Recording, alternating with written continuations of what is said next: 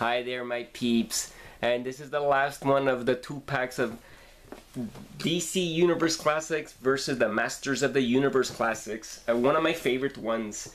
Uh, right away, I don't give much... Um, this was another Toys R Us exclusive, but only if you were in the booth of 2011... What's it called? San Diego Comic Con. That's where I got the Bizarro and, and Faker and this is where I got Supergirl and She-Ra because the Aquaman and Merman and the Hawkman and Stratos I picked them up at, at Toys R Us but there was no stickers. This has a little sticker.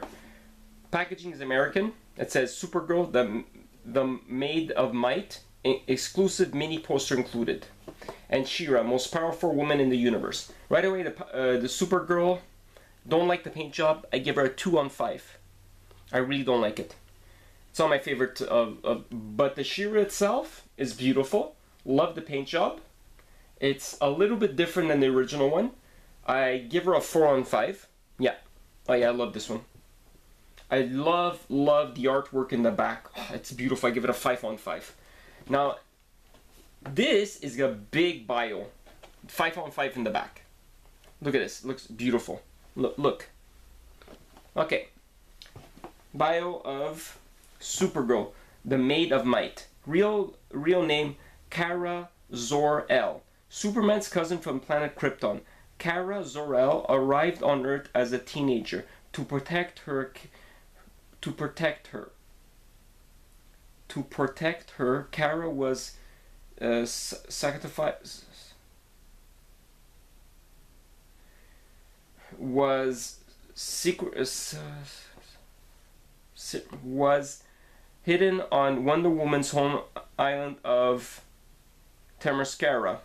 Unfortunately, Supergirl was abandoned by the villain, was abducted by the villain Darkseid and pitted against Superman in a battle for her, her soul.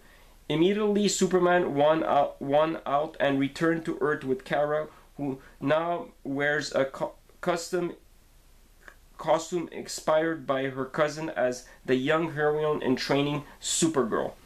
She-Ra, most powerful woman in the universe. Real name Adora of the House of Randor.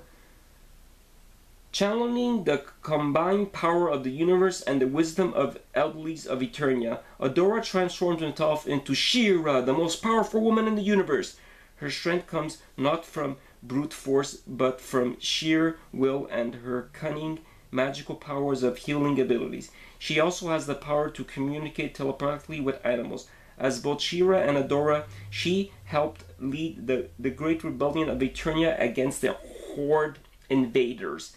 Later, when Hordak found an escape, found an, an escape to Eternia, she found found founded him followed him along with several of her friends and allies. Once there, the Princess of Power joined forces with the new re, re guided regained re, re regarded regained masters of the universe who with it, without King Randor had become outcasts in their own land fighting against Horde's new threat.